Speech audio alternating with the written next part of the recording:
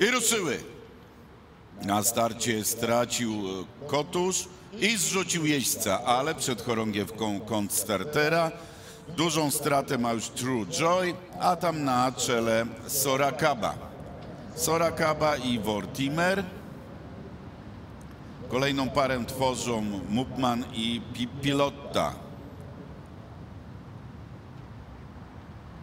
Jest tam także blisko Be My Friend. W odstępie True Joy i bez jeźdźca Kotusz. Zakręt wprowadza Sorakaba. Na drugiej pozycji Vortimer.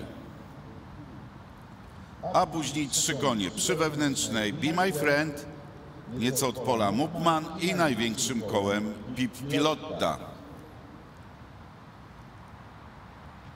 Za moment konie pojawią się na prostej finiszowej, wolniutki wyścig, a więc będzie rozegrany na końcówkę. Dopiero, dopiero e, jeźdźcy pobudzą swoje konie, przyspieszą. Na prostą wyprowadza przy wewnętrznej bandzie Sorakaba.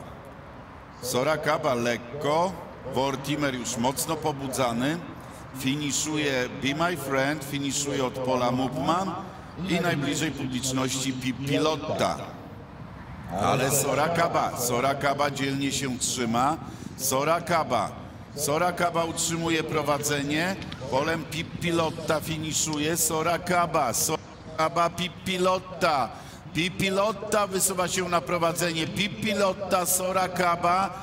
I w celowniku pierwsza Pip Pilotta, na drugim miejscu Sorakaba, na trzeciej pozycji Be My Friend, na czwartym miejscu e, Mupman, na piątym miejscu Vortimer, szósta, szósty mija celownik True Joy i bez jeźdźca zmierza do celownika Kotusz.